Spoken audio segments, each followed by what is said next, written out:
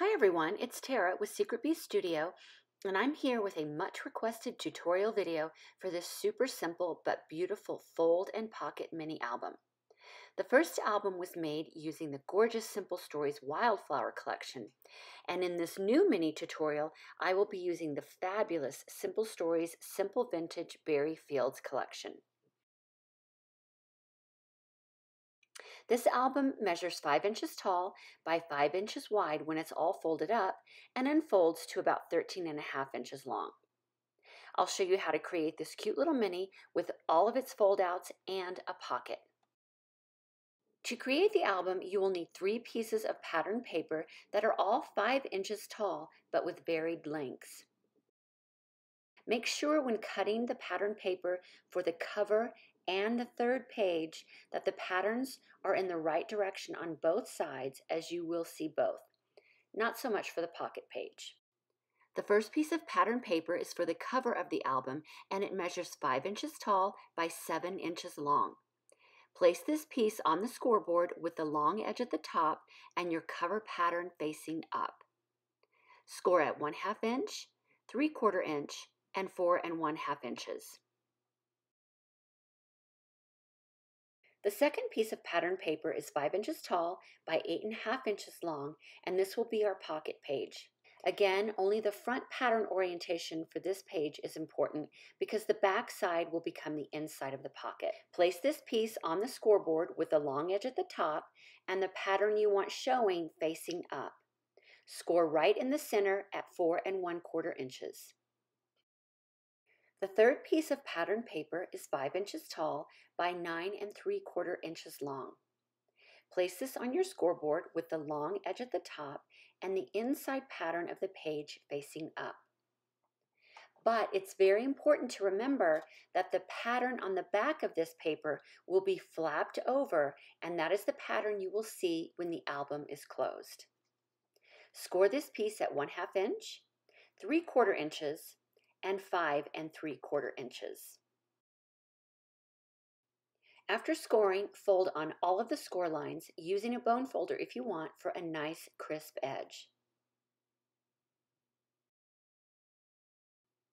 And this is how your completed album will fit together.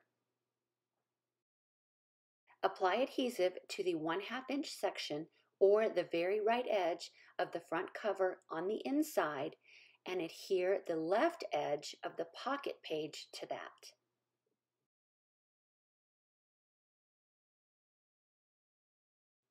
Then apply adhesive to the inside 1 half inch section or the very left edge of the last page and adhere the right edge of the pocket page to that. Before adhering the pocket together, you can punch an opening at the top of the front just to make it easier to see what's inside. I use a 2 inch hexagon shape for mine, but you could use a circle or whatever shape you desire. Flip the album over and apply adhesive in an L shape on one side of the inside of the pocket. I use 1 half inch score tape on mine, but you can increase or decrease how much adhesive you want in yours depending on what size you want your pocket to be. Then simply fold the pocket together to adhere. I add a decorative edge to the inside fold of the cover and the back page using a scallop punch. You could always leave these edges straight if you wish.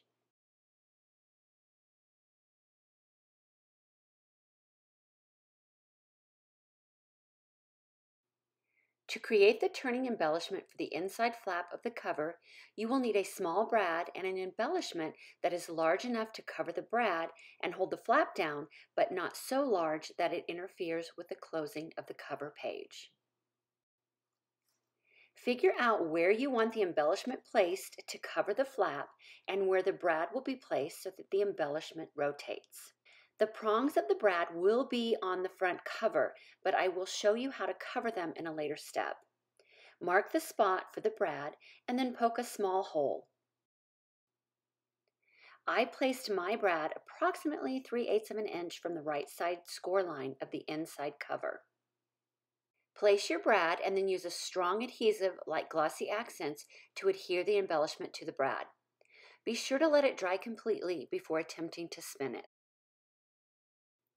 Decide on the front cover decorations and embellishments, and then use foam adhesive to pop everything up so that it covers the brad prongs that are showing. Make sure when you are applying the foam adhesive that you leave plenty of room for the prongs and where they will spin on the cover.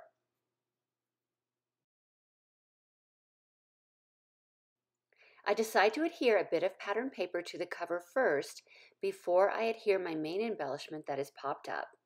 Then I add another small embellishment off to the side to cover the prongs. Then I just go ahead and finish decorating and embellishing the front cover.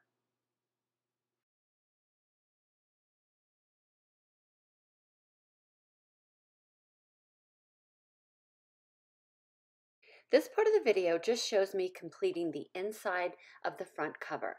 You can always skip ahead to the next part if you wish. I layer in stickers, chipboard, and decorative brads to the top of the flap, and then cut down some 2x2 journal cards for the inside of the flap, along with a layered chipboard piece.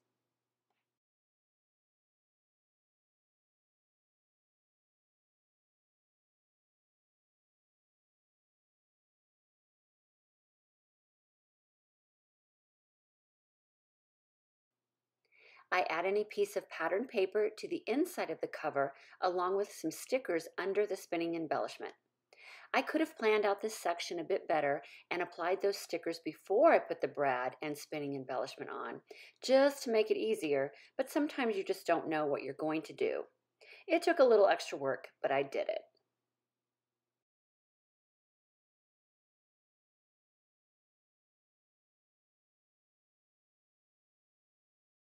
On the pocket page, I add embellishments on the right side so that they hang over the edge and can be seen when the album is closed. Once those are adhered, I just layer in more bits and pieces, a journal card, stickers, and enamel dots. The pieces that hang over will show on the back side of the pocket page, but we will cover most of that with more embellishments. Also, on the back side of the pocket page, I add in a layered chipboard element that will hold a decorative card. I add two layers of patterned paper strips in an L shape on the left edge and bottom of this element, just to pop it up a tiny bit. Enough for the decorative card to slide in and out, but still be held in place. You could use foam adhesive, but it may not hold your card tightly, or you're going to have to have more than one decorative card.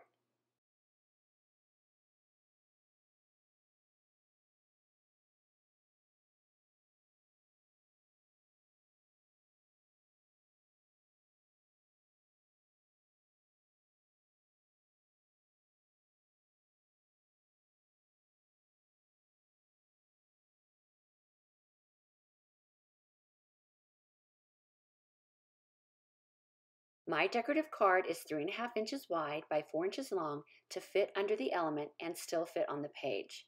Cut yours accordingly. I cut the base out of patterned paper and then cut two slightly smaller patterned paper pieces for each side of the card. Once those were all adhered together, I added in my embellishments.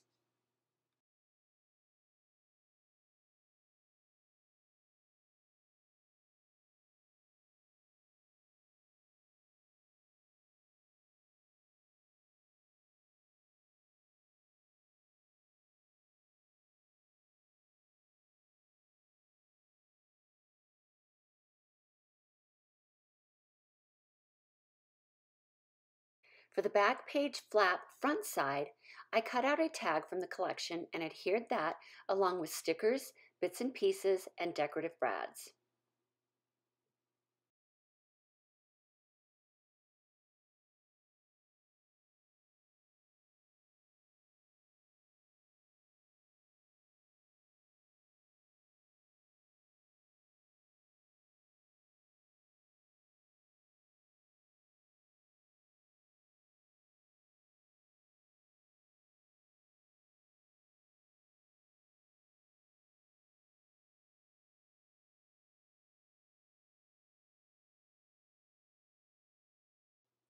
I dressed up the inside of the back page with an additional piece of patterned paper and then stapled a decorative element to the top left and popped up an element on the bottom so that a photo can be slipped behind both.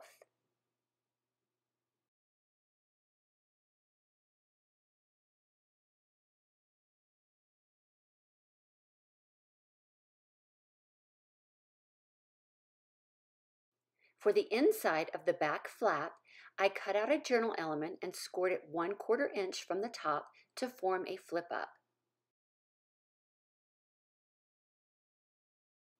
Adhere the flip and then add in more decorative touches to the front and the back of the flip. You will see when I show the completed album that I did decorate and embellish under the flip as well.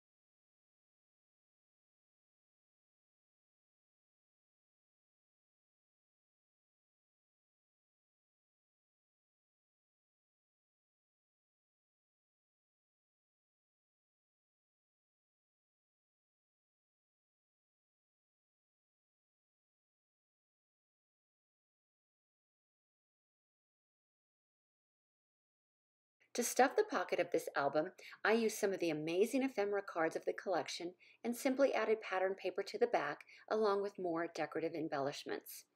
I think it's always a good idea to add items or pictures in different widths and heights to a pocket for a great visual interest. And here's this pretty little album completed.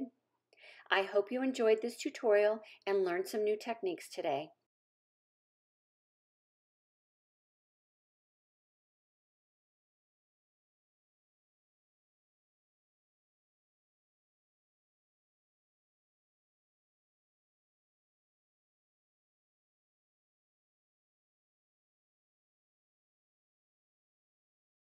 Thanks for watching, and I'll see you next time. Bye.